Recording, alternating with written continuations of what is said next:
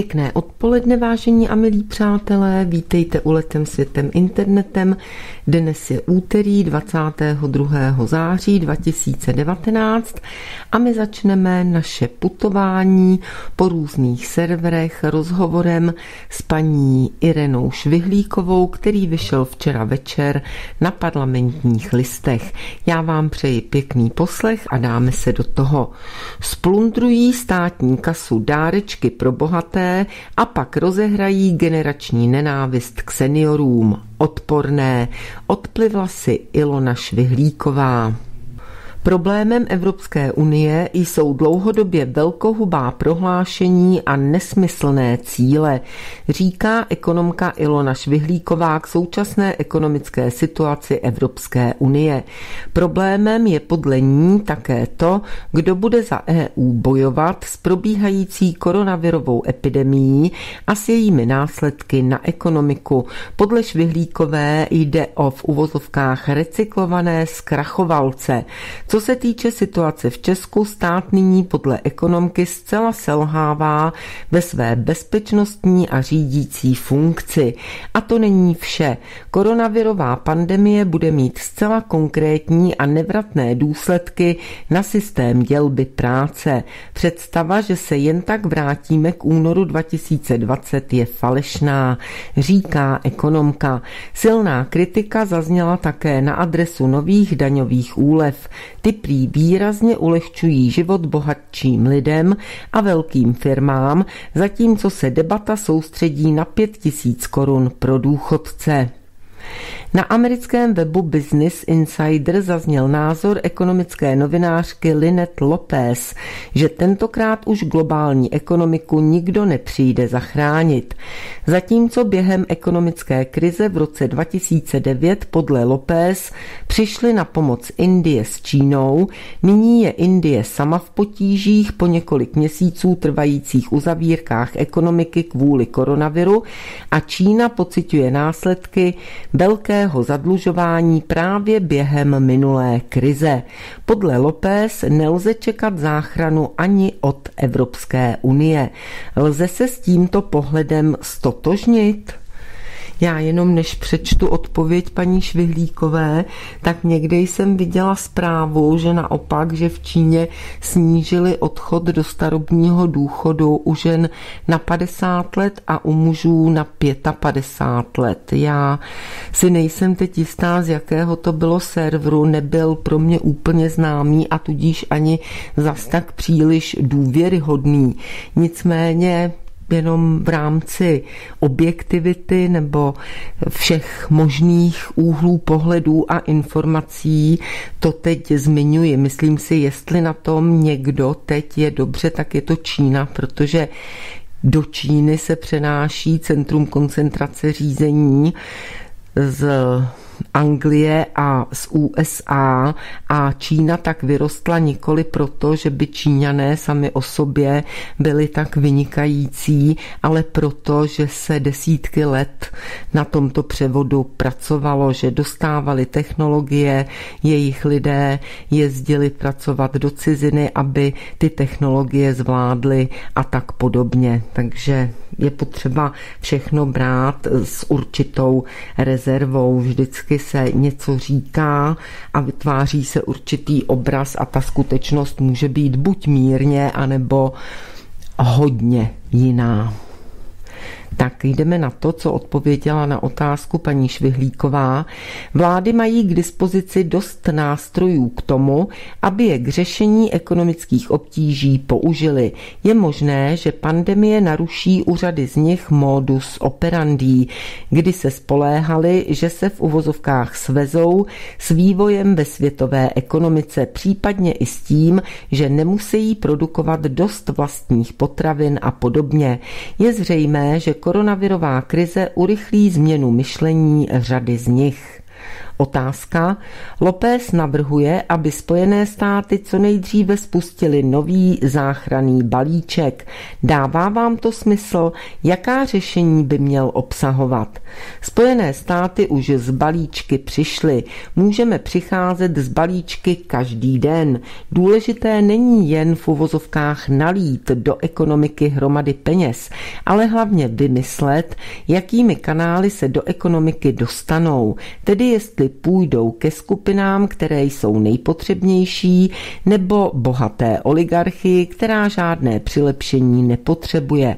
USA by se opravdu hodil masivní investiční program na podporu infrastruktury. Na začátku svého volebního období Trump správně diagnostikoval, že infrastruktura v USA je v katastrofálním stavu, ale nakonec z toho zbyla akorát ta migrační zeď. Tady zase dodám na obranu Donalda Trumpa, že on celou tu dobu vede válku a bojuje úporné bitvy s těmi největšími zloduchy tohoto světa a to jsou představitelé a lidé spolupracující s Deep State neboli s americkými státními elitami. Pokud se bavíme o ekonomické kondici EU, jak je zhodnotit? Problémem EU jsou dlouhodobě velkohubá prohlášení a nesmyslné cíle, představované zkrachovalými představiteli jednotlivých zemí, kteří se v uvozovkách recyklovali do vyšších funkcí.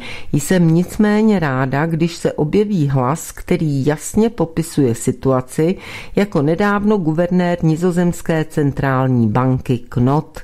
Ten totiž jasně uvedl, že pokud se fondu obnovy nepodaří zacelit divergenci mezi severem a jihem eurozóny, je celý projekt ohrožen. Plus také jasně ukázal, že z eura má prospěch především kapitál, ne pracující. Otázka. České počty nakažených novým koronavirem opět rostou. Hygiena nestíhá trasovat. Podle Romana Primuly jsme ve druhé vlně epidemie. Pokud by se situace dále zhoršovala, můžeme si podle vás dovolit opětovné uzavření ekonomiky? Otázka směřuje k tomu, jako kdyby byla volba mezi tím, že vše bude otevřeno a vše bude zavřeno. Uvědomme si, prosím, že pokud pojedeme po této trajektorii, tak vláda nic zavírat nemusí. Lidé sami již nyní přestávají chodit do restaurací, do kaváren, do divadel, na výstavy a tak dále. Současný vývoj je opravdu tristní. Stát naprosto selhává ve své bezpečnostní a řídící funkci. Tady se obávám, vážení přátelé, že je to všechno v souvislosti a v důsledku toho, co se za ten uplynulý rok stalo.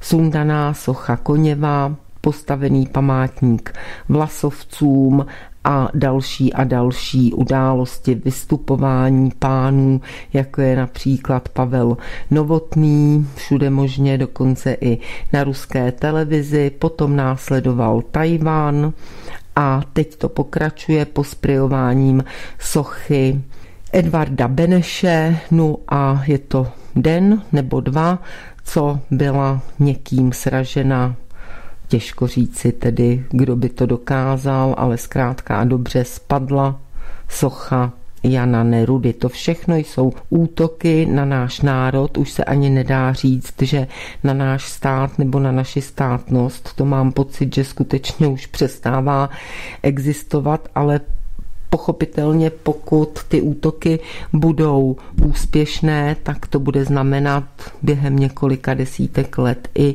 konec našeho národa. Mám pak pro vás ještě jednu hodně znepokojivou zprávu v této souvislosti, ale nyní pokračujeme v rozhovoru s paní Švihlíkovou. Institut svobody a demokracie zveřejnil nový text s titulkem Klinická smrt české ekonomiky poukazuje na nová čísla. HDP poklesl o 11%, zaměstnanost klesla o 3,2%. Průmyslová produkce se ve druhém kvartálu 2020 propadla meziročně o 23,6% a takto bychom mohli pokračovat. Pandemie zasáhla všechny země světa. Je to bezprecedentní ekonomický šok, takže nemá moc smysl zdůrazňovat, že se jedná o historické propady v produkci a HDP. Důležité je, jak je stát schopen udržet zdravotně bezpečnostní situaci a jakou ekonomickou politiku zvolí ke konfrontaci pandemie. Tady bych jenom ještě rozšířila toto konstatování o to, že žádná pandemie propad nespůsobila.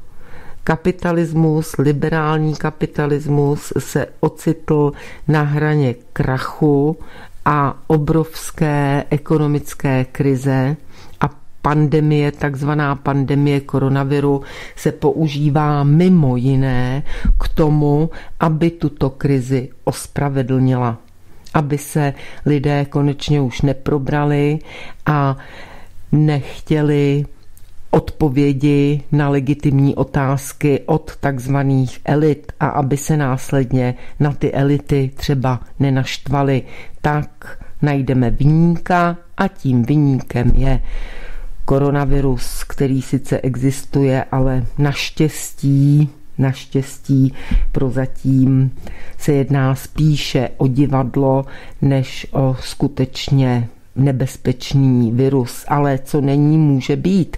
Ve chvíli, kdybychom neposlechli, je evidentní, že vláda teď, naše vláda byla zahnaná do kouta a musela otočit, protože pan premiér Babiš ještě asi před 14 dny se přel se Světovou zdravotnickou organizací o tom, že roušky ano, ale že je budeme pouze doporučovat a nikoliv nařizovat. No a vidíte, co přišlo za odpovědi. A mezi tím jen tak náhodou zase do sebe narazilo pár vlakových souprav v České republice. Já osobně mezi těmito všemi událostmi vidím spojitosti jakkoliv nikdy nebudu moci tyto věci tvrdit na 100%, natož dokázat pochopitelně. Pokračujeme další otázka. Export se meziročně propadl o 254 miliard korun. Z toho dělá takřka 60% automobilový průmysl. Je podle vás reálná hrozba, že koronavirus některá obchodní spojení s cizinou přetne již natrvalo, nebo se po sklidnění situace můžeme těšit na rychlý návrat k předkrizovým číslům? Od začátku pandemie říkám, že koronavirus funguje jako urychlovač a zesilovač určitých trendů, které byly přítomny již předtím. Trend ke zkracování výrobních řetězců, důraz na domácí výrobu, včetně národně strategických úvah, povede podle mého názoru k trvalým změnám v mezinárodní dělbě práce. Představa, že se jen tak vrátíme k únoru 2020 je falešná. O tom hovořil hned první týden po vyhlášení pandemie Valery Pjakin. Říkal, že se vrátí některým zemím zpátky zejména lehký průmysl a to především z Číny, kam bylo všechno převezeno. Pokud se týká těžkého průmyslu, třeba u nás, tak tam je to otázka s velkým O, protože čím více má země průmyslu a tím spíš toho těžkého, čím tedy je technologicky vyspělejší, tak tím má samozřejmě vyšší suverenitu. Dost pochybuji o tom, že v současné době by nám jen tak snadno byla tímto způsobem suverenita vracena, ale ono všechno, co bude, jak bude, jak se to bude bude vyvíjet, záleží především na tom, jak se poskládá ta situace celosvětově. To je teď vidět úplně markantně, zatímco ještě třeba před rokem, před dvěma bylo vidět, že přece jenom sice, že hodně lavírujeme jako Česká republika, ale přece jenom sem tam jsme si něco asi rozhodnout mohli, alespoň tedy vláda působila kompaktně a relativně kompetentně, tak dnes už se o tom absolutně hovořit nedá pro celý svět. Teď Domnívám se, jsme příkladem státu, který není řízen, v tom má paní Švihlíková naprostou pravdu. I všechna ta opatření, která se děla okolo koronaviru, tak sice mohla být snahou o lavírování a o zajištění takových opatření, aby se vlk, tedy ten, kdo je diktuje, nažral a koza, to znamená český národ, zůstala celá. Nicméně čím dál tím víc i v souvislosti s tím, že si jednotlivé celky, ať už jsou to města nebo dokonce okresy, jako v případě Prahy 6 například, nebo jednotlivá tělesa v rámci státního řízení, tak jednotlivé celky si dělají, co chtějí. Vláda nemá žádnou autoritu, to už je naprosto jednoznačně prostě vidět. A obávám se, už jsem o tom hovořila, že i ta zhoršená situace ohledně koronaviru je součástí toho tlaku na ztrátu naší státnosti. Myslím si, že to jde velice dobře dohromady. Všimněte si, jak jsme postupně izolováni od ostatních zemí. Říkám tomu, že jsme v kladbě a supy už se slétají a jenom čekají na povel, aby se na nás mohli vrhnout. Stále ještě můžeme doufat, že to tak nedopadne. V konečném výsledku, podle mého názoru, se to nakonec všechno srovná, ale otázkou je, jak dlouho to bude trvat. Teď mi ovšem napadlo, že by možná nebylo špatným tahem, kdybychom se zachovali v této tak kritické pandemické situaci u nás, jako se před pár měsíci zachovala Itálie. Navrhuji, vážení přátelé, abychom sem pozvali experty z Ruska. Co říkáte, souhlasili byste?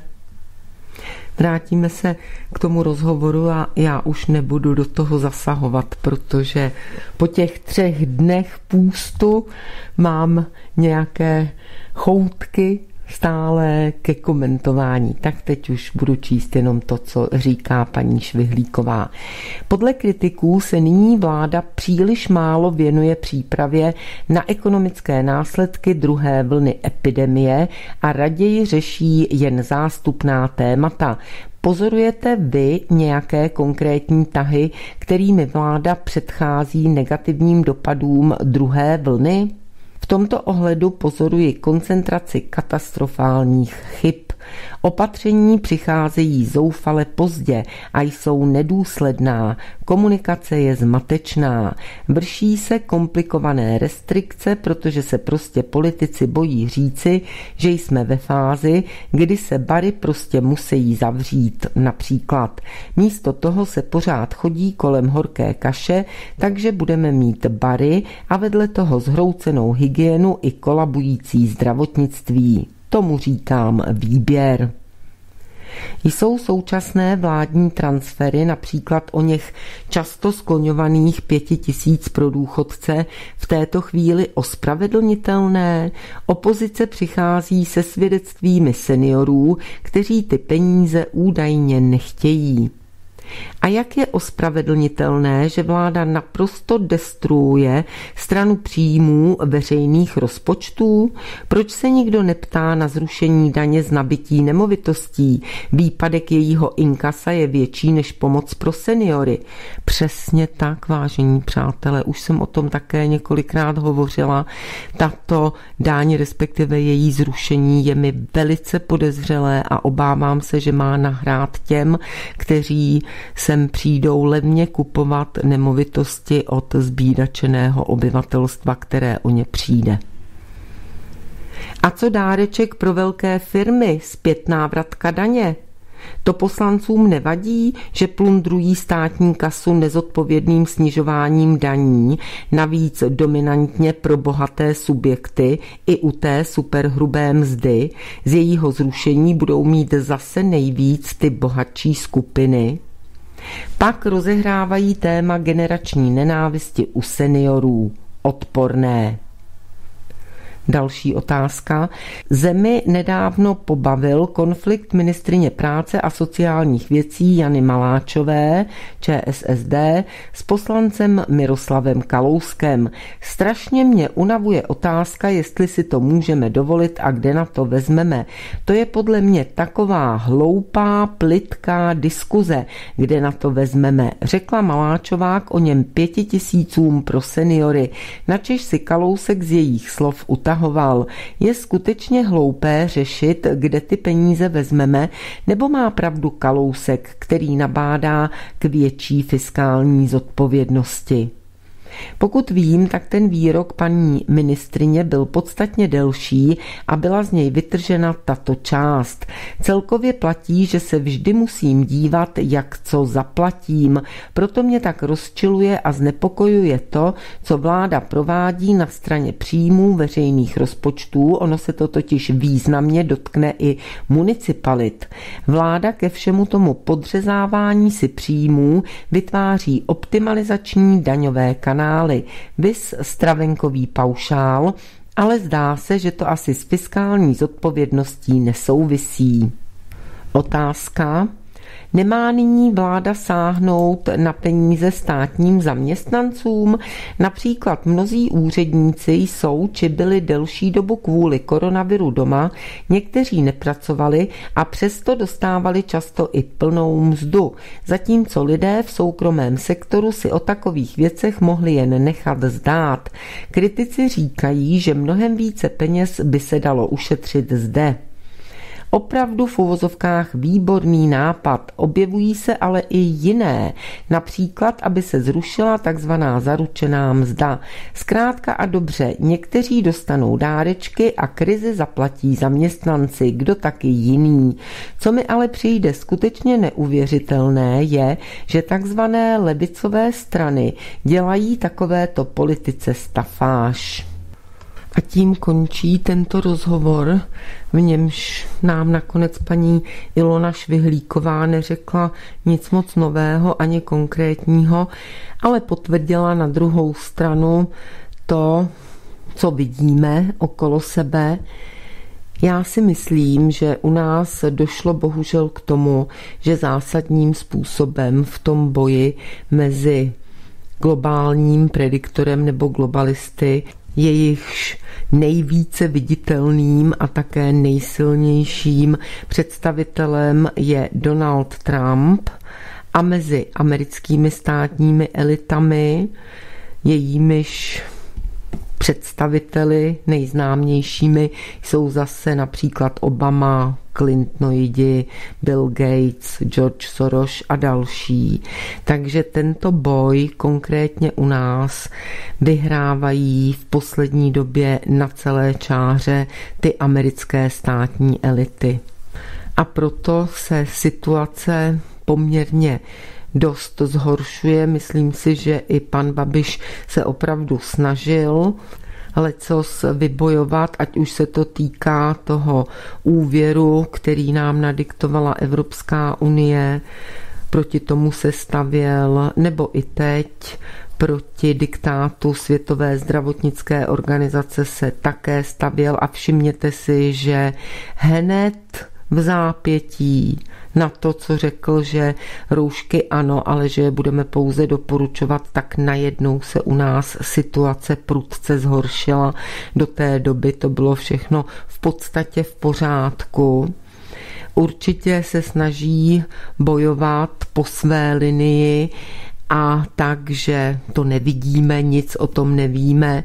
Pan prezident Miloš Zeman ale bohužel v současné době ty americké státní elity jsou silnější. Myslím, že zásadní chybou bylo, ale přátelé, berte to s rezervou, protože já nejsem ani na tom místě, jako je třeba pan prezident Zeman a ani nemám ty informace, které tito lidé mají, ale mně se jeví jako zásadní chyba a všimněte si, že je to moment, od kterého jde všechno z kopce postupně salámovou metodou, ale z kopce.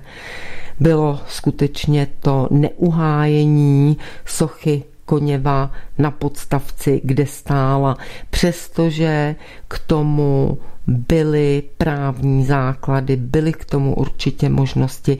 Minimálně bylo možné nasadit nějakou zdržovací taktiku, znepříjemňovat to té straně, která dělala všechno proto, aby nás o tento symbol připravila a ať chceme nebo nechceme, kdo nechce, nemusí to vidět, ale od té doby to jde z kopce a je to vidět konec konců i na ničení těch symbolů, které jsou nám nejdražší.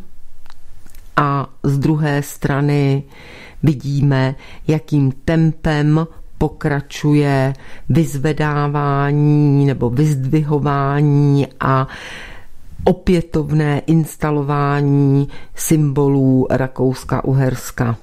Na druhou stranu, jak říkám, nemám k dispozici všechny informace, pokud třeba měli ti představitelé, o kterých se domníváme, že že pracují nebo snaží se pracovat ve prospěch našeho národa, tak pokud měli informace nebo dokonce před nimi stála volba, či byli postaveni před hrozbu, že tady u nás bude rozpoutána krvavá řeš, pokud se ozveme proti některým těm opatřením, o kterých jsme hovořili, no tak v tom případě asi člověk chápe, že se třeba skutečně nedalo nic dělat. To neumím posoudit a asi to bude ještě nějakou dobu trvat. Kdo ví, jestli se vůbec někdy dozvíme, nebo alespoň naši potomci, jak to vlastně bylo, proč nikdo nezasáhl proti zničení památníku maršála Koněva. Tím se odstartovalo bourání, tak o to se snažili celých těch 30 let, ale možná konečná fáze bourání našeho státu, české státnosti, což, milí přátelé, nemůže za pár let nebo desetiletí vyústit v nic jiného, než v zánik národa. Prostě máli národ trvat, tak musí mít nějakou organizaci. Jen tak sami o sobě český Češi existovat nemohou a český národ. To prostě nejde, to na sebe váže. No, tak si představte, co chystají u velkých opatovic na Jižní Moravě. Budu číst vyjádření petice proti plánovanému vykácení 48 stoletých lip u velkých opatovic. Vyjadřujeme podpisem pod touto peticí svůj protest proti plánovanému vykácení 48 stoletých lip lemujících silnici mezi Chlumem a Svárovem v souvislosti s rekonstrukcí silnice 2 lomeno 372 katastru obce Svárov u Velkých Opatovic, katastrální úřad Svárov u Velkých Opatovic. Svými hlasy se obracíme na jihomoravský kraj. Žádáme, aby bylo přehodnoceno řešení dopravní situace v uvedené lokalitě a unikátní alej 80 lip, která byla zasazena v rámci výsadby stromů svobody v roce 1920 byla zachována pro její nespornou hodnotu krajinotvornou a ekologickou i z důvodu historické paměti místa. Tak asi mezi těmi 80 lípami je 48 stoletých lip. Vyspělé země své přírodní a krajinné skvosty musí chránit a pečovat o ně. Současně poukazujeme na fakt, že plánovaná úprava silnice povede k nárůstu kamionové dopravy a v konečném důsledku nepřinese obyvatelům obcí ležících na jmenované komunikaci proklamované pohodlí, ale naopak řadu nových problémů. Jsme proto přesvědčeni, že projekt rekonstrukce silnice musí být být přepracován a rekonstrukci silnice je třeba provést bez takto rozsáhlého kácení. No vážení a milí přátelé, to přece vůbec nepotřebuje žádný výklad. Stromy svobody se jmenovaly ty lípy, které byly vysázeny v roce 1920. Lípa je národní strom, to znamená v symbolické rovině, že je porážen národ a zároveň, že je smetena naše svoboda. Pokud tedy můžete a chcete, tak si vyhledejte tu petici na serveru petice.com. Název má petice proti plánovanému vykácení 48 stoletých lip u Velkých Opatovic. Kromě toho už nám sprznili píseň Ktož jsou boží bojovníci.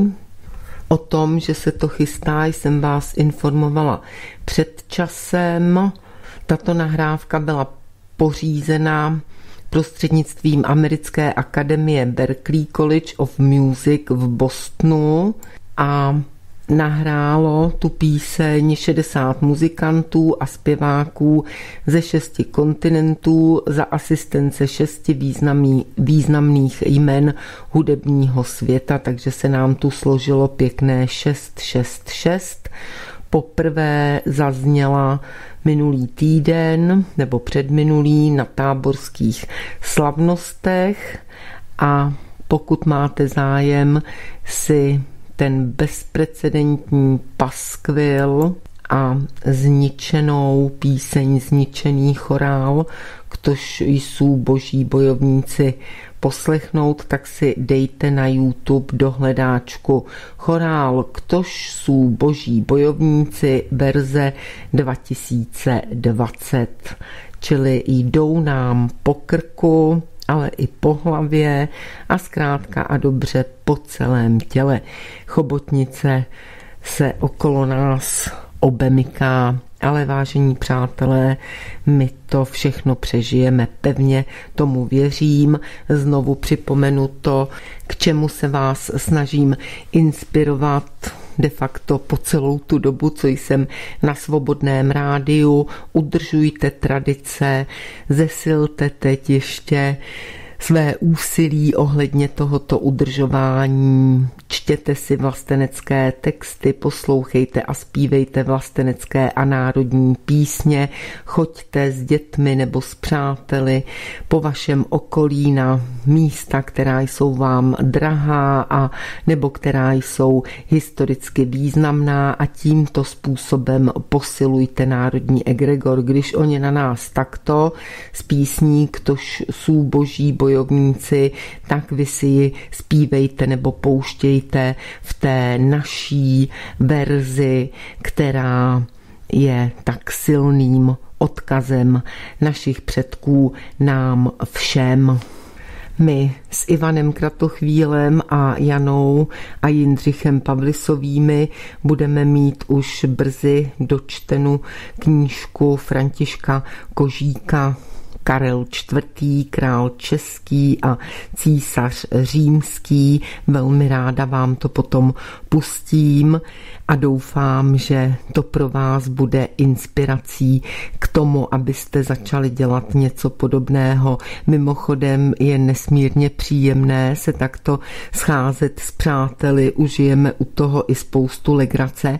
No a zároveň, když člověk takhle čte, ještě i ve společenství dalších lidí, to dílo, tak vnímá, tak je vnímá úplně jinak, než když si to člověk čte jenom pro sebe. Daleko více toho pochopíte daleko více, jste schopni se do toho vžít, mnohem víc vás to osloví a prostoupí. Zkrátka a dobře, mnohem víc si z toho člověk odnese a mimo jiné také to pěkné setkání s přáteli. Tak doufám, že se nám podaří dílo dovést do úspěšného konce a že se vám bude líbit, byť naše hlasy jsou neškodné proškolené a naše zanícení je sice opravdové a jde od srdce, nicméně profesionality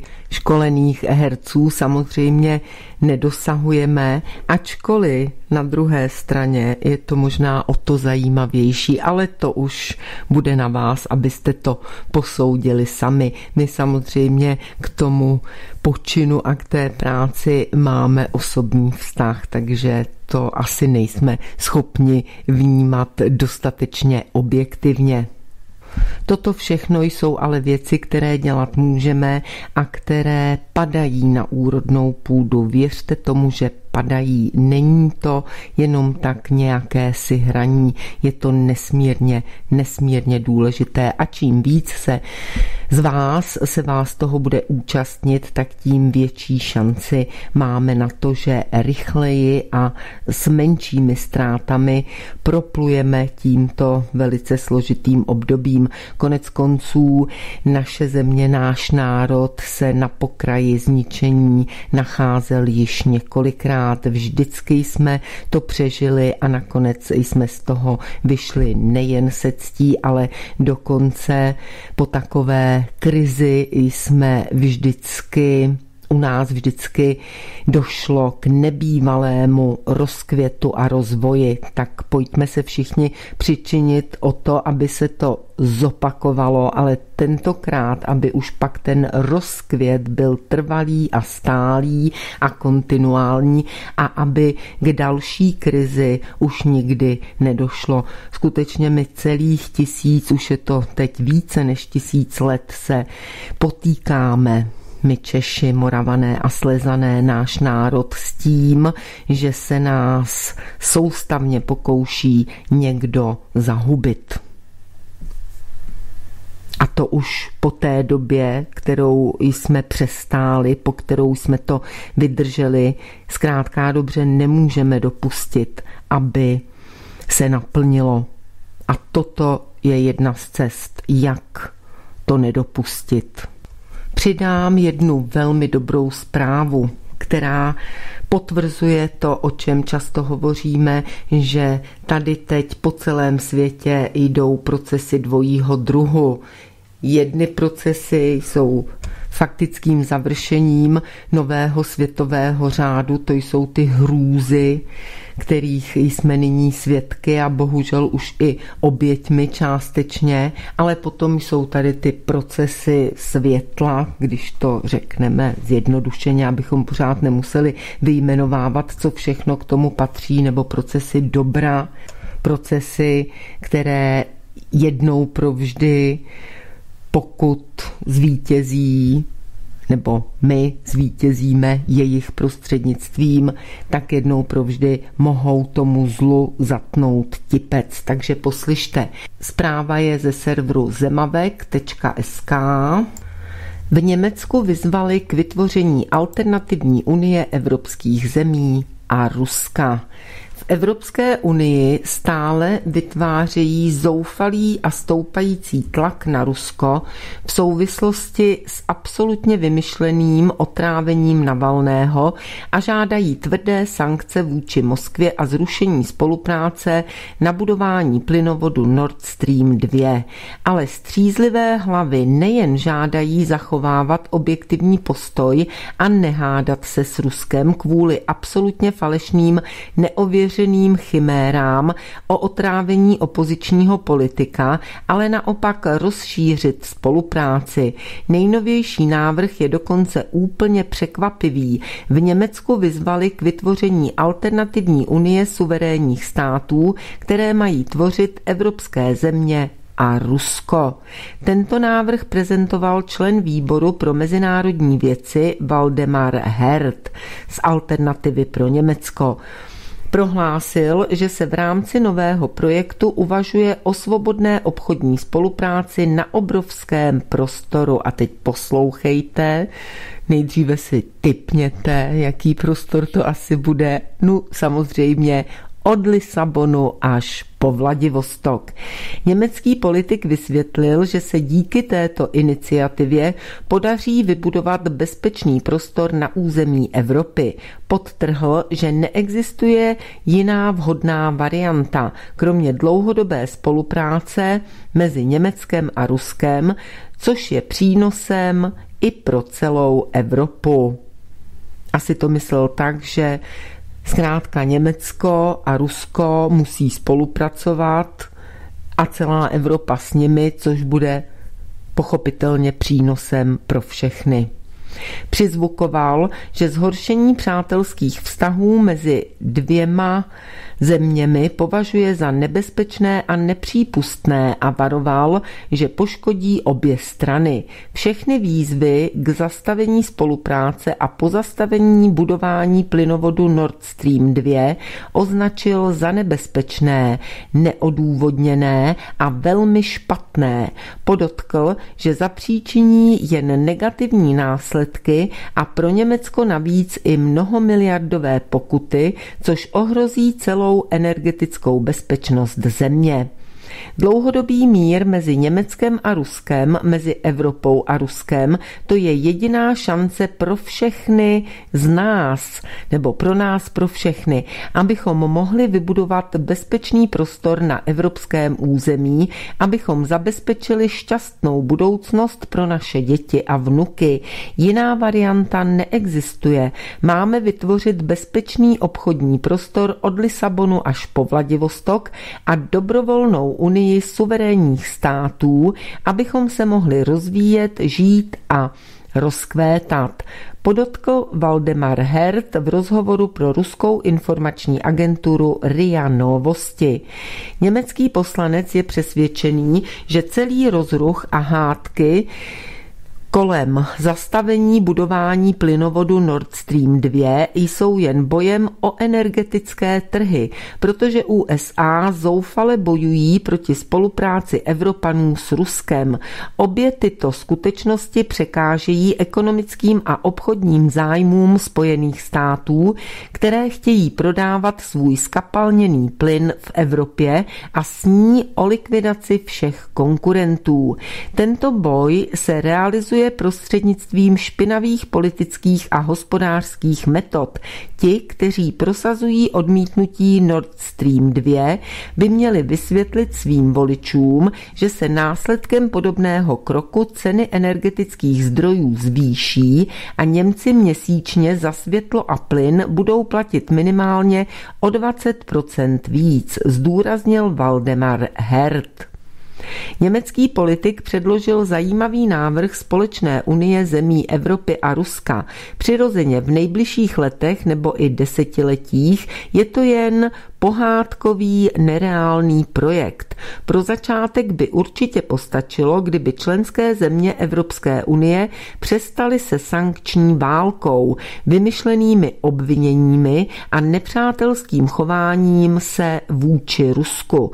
Postačila by běžná sousedská spolupráce a přátelské obchodní a hospodářské vztahy. Určitě by vyhrály obě strany. Bohužel zatím jedna strana chce spolupracovat, ale druhá se snaží bezdůvodně hryzat a útočit na souseda. Kdy konečně v Evropské unii zvítězí zdravý rozum? A ještě jeden článek k tomuto tématu. Premiéři východních zemí SRN se zastali Nord Stream 2. Premiéři východních zemí Spolkové republiky Německo jednomyslně podpořili Nord Stream 2 a vyzdvihli velký význam projektu pro celou Evropu. S takovými informacemi přišla německá televize ZDF. Politici mají za to, že plynovod zajistí energetickou bezpečnost Německa. Kvůli incidentu s opozičníkem Alexejem Navalným vyzvala německá strana zelených ke zrušení projektu. Jejich výzva ale nemá zatím vážnou podporu ve spolkovém sněmu. Premiérka země Mecklenbursko přední Pomořansko Manuela Švesik poznamenala, že Nord Stream 2 je nejen ruský, ale také německý projekt. Má na něm zájem Německo a západní Evropa, byly do něj vloženy miliardy, je hotový z 97% a byl nejednou schválen podle zákonů právního státu, řekla. Televize ZDF uvedla, že se na ochranu projektu vyslovili také další politici. Nord Stream 2 se buduje z Ruska do Německa po dnu Baltského moře. Zbývá položit jen asi 160 kilometrů potrubí. Poslanec spolkového sněmu, člen zahraničního výboru Valdemar Hert 19. září řekl, že zřeknutí se plynovodu hrozí ztrátami v hodnotě mnoha miliard a spochybní energetickou bezpečnost Německa. Tak to bylo i v tom minulém článku. Eventuální nástupce Angely Merklové Merkelové na postu kancléře Friedrich Merz přitom navrhl zavedení dvouletého moratoria na výstavbu. Tento týden poslanec Evropského parlamentu za Německo Maximilian Krach v rozhovoru pro RT prohlásil, že americká vláda je ochotna udělat vše možné pro zastavení výstavby plynovodu Nord Stream 2, Krá je přesvědčen, že tato rezoluce poskytuje další možnost prosazování protiruské agendy. Vysvětlil, že v americké delegaci EP probíhají jisté diskuze o projektu plynovodu. Při každé naší schůzce jsem se ptal zástupce USA, proč zavádějí nezákonné sankce vůči třetím zemím. Odpověď byla vždy stejná. Naše vláda udělá vše možné, aby tento projekt zastavila řekl evropský poslanec. Vyslovil také názor, že plynovod Nord Stream 2 bude konkurovat americkému břidlicovému plynu a již existujícím plynovodům. Navázání ekonomických styků mezi Německem a Ruskem v energetické sféře udělá německou stranu nezávislejší na vlivu USA, zdůraznil politik. To není žádoucí pro ty, kdo sní o americkém impériu na obou stranách Atlantiku, vysvětlil Krá. Psáno krach, tak předpokládám, že se to čte krá. Krá, krá. A přidáme ještě jednu dobrou zprávu. Média Německo nemůže zahájit vyšetřování v kauze Navalny. Zpráva je opět ze Sputniku. Německo nemůže zahájit vyšetřování incidentu s Alexejem Navalným, protože k incidentu došlo na území jiného státu, píše německý deník Süddeutsche Zeitung. Podle informací listu ještě předtím, než německá kancléřka Angela Merklová oznámila výsledky testů Navalného, obrátila Obrátila se spolková vláda na generální prokuraturu v Karlsruhe s dotazem, jestli by mohl někdo v SRN toto vyšetřování zahájit. Tam na to ale jen zavrtěli hlavou. Deník zaznamenává podstatný rozdíl mezi incidentem s Navalným a předpokládanou otravou bývalého důstojníka GRU Sergeje Skripala a jeho dcery Julie ve Velké Británii.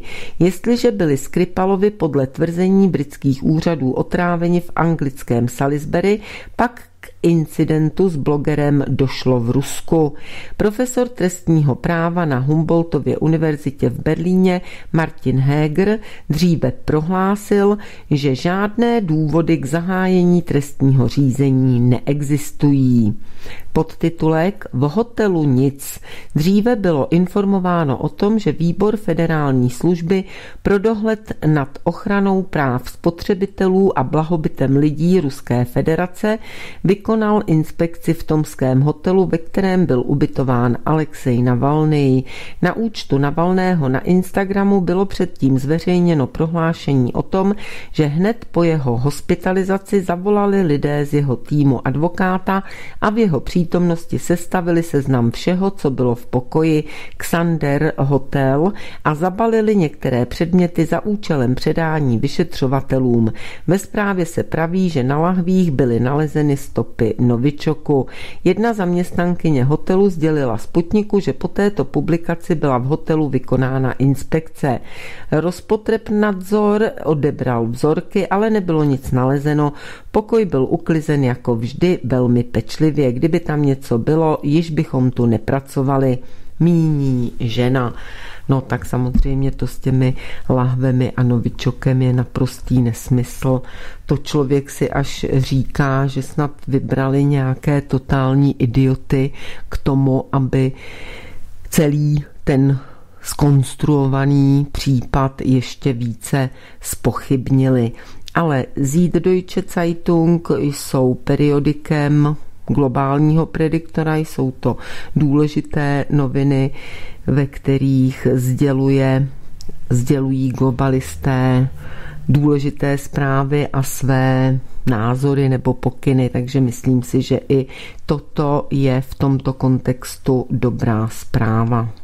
A teď se chtě nechtě vrátíme ještě k věcem velice nepříjemným, speciálně pro nás. Dnes se sešel ústřední krizový štáb. Ministerstvo vnitra představilo revizi krizové legislativy. Tato zpráva je z webu Ministerstva vnitra České republiky, jinak o celé té kauze, o tom, že už tři měsíce se jedná napříč všemi rezorty o změně legislativy související s bezpečností České republiky tak o tom se stále a vytrvale mlčí. Tak si přečteme, co nám píše ministerstvo vnitra. Po aktivaci vládou se dnes, čili včera, pod vedením ministra vnitra Jana Hamáčka poprvé sešel v kompletním složení ústřední krizový štáb Jan Hamáček členy informoval o struktuře štábu, pracovních skupinách i hlavních cílech. Těmi jsou zabránění kolapsu zdravotnického systému a zabránění proniknutí nákazy mezi seniory. UKŠ, to je ten úřední krizový štáb, aktivovala vláda na žádost ministra vnitra dnes 21. září 2020 a to v situaci, kdy má Česká republika druhý nejvyšší počet nakažených koronavirem v EU na 100 tisíc obyvatel za posledních 14 dní. Situace je vážná, pokud bychom dle odborníků překročili hranici 120 tisíc nově nakažených za měsíc, došlo by k omezení omezení dostupnosti lůžkové péče. Uděláme vše proto, aby k tomu nedošlo, uvedl předseda UKŠ a ministr vnitra Jan Hamáček. Připomněl, že pokud by stát ani občané nepřijali žádná opatření, mohla by krizová situace ve zdravotnictví nastat už v říjnu. Proto všechny opět prosím, berte situaci vážně a dodržujte pravidlo 3R, tedy Dezinfikujte si ruce, noste roušky a dodržujte rozestupy. Doplnil Jan Hamáček s tím, že mezi další pravidla by mělo patřit vyhýbání se hromadným akcím a nainstalování mobilní aplikace e-rouška. Naprosto klíčový bude dle ministra tento týden, kdy se uvidí, zda zafungovalo nařízení nošení roušek. Úkolem UKŠ jako poradního orgánu vlády bude koordinovat úsilí jednotlivých složek v boji proti koronaviru. Kromě pravidelné komunikace s kraji bude UKŠ dělat takové kroky, aby zabránil proniknutí epidemie mezi seniory i přehlcení zdravotnického systému. Na základě dohody z dnešního jednání také ministerstvo zdravotnictví ověří celkové kapacity zdravotní péče i dopady epidemie do zdravotnického personálu. Ověření dopadů se týká bezpečnostních sborů policistů a hasičů. UKŠ zatím naopak neplánuje jednat o dalších epidemiologických opatřeních. Tak tady o tom bylo lze se dočíst, že zasedal znovu po nějaké době ten ústřední krizový štáb. Ale o čem je stále ticho po pěšině, přečteme si podtitulek tady u toho článku Krizová legislativa. Už v červnu letošního roku ministr vnitra představil revizi ústavního zákona o bezpečnosti, která mimo jiné ukotvovala ústřední krizový štáb v ústavě nebo umožňovala nově vládě vyhlásit stav nebezpečí, tedy mezistupeň mezi běžnou situací a nouzovým stavem. Šlo o reakci na zkušenosti první vlny pandemie, která ukázala, že je nutné novelizovat celou krizovou legislativu tak, abychom v budoucnu dokázali ještě pružněji reagovat na podobné krize. Dnes proto ministerstvo vnitra představilo novelu krizového zákona, která navazuje na revizi ústavního zákona. Jasně vymezujeme, co vláda nebo hejtman může během stavu nebezpečí omezit a nařídit. Přicházíme také s funkcí zmocněnce pro případ, kdyby hejtman nebo starosta nemohl plnit úkoly stanovené krizovým zákonem. Vysvětlil Jan Hamáček. Návrh krizového zákona, který teď stejně jako ústavní zákon o bezpečnosti projde mezirezortním připomínkovým řízením, počítá i s právem policisty si uložit během krizového stavu pokutu takzvaně na místě. Dochází také ke zpřesnění ustanovení o náhradě škody tak, aby z textu byl jasně patrný původní význam, tedy že se nahrazuje jen taková materiální škoda, která vznikla při boji orgánu proti krizovým situacím. Tak vážení přátelé, z toho jednoznačně vyplývá, že ty změny ústavního zákona již byly mezirezortně projednány, že prošly mezirezortním připomínkovým řízením a my o tom nikdo nic nevíme jako kdyby to ničím takovým neprocházelo. Tomu se opravdu velice divím, protože si myslím, že je to to nejpodstatnější pro nás v poslední době, protože ten zákon tak, jak je navržen, nebo ty změny tak, jak jsou navrženy, jestli je to pravda, že je tady snaha zavést stav nebezpečí, který zbaví občany veškerých jejich práv a ještě tomu stavu říkat, že je to nejnižší stupeň těch různých možných ohrožení, teprve nad ním je nouzový stav a další stavy, tak to je skutečně obrovská a zákeřná změna systému proti občanům České republiky. Ještě úplně nakonec bych se chtěla vyjádřit k tomu, že na místo Adama Vojtěcha byl jmenován do funkce ministra zdravotnictví pan Primula. Na první pohled to vypadá úplně hrozivě a děsivě, ale nakonec to úplně tak strašné být nemusí, protože pan Primula se nedávno vyjádřil ve prospěch ruské vakcíny a co je ještě důležitější a docela to teď spolu koresponduje, je to, že ruskou vakcínu proti covidu podpořila i Světová zdravotnická organizace. Takže to vypadá na to, že Sice VHO je semeniště a doupě všech možných amerických státních elit, všech přívrženců a vykonavačů jejich zrůdných plánů, ale zřejmě se tam globalistům podařilo někoho protlačit, takže VHO se staví k ruské vakcíně kladně.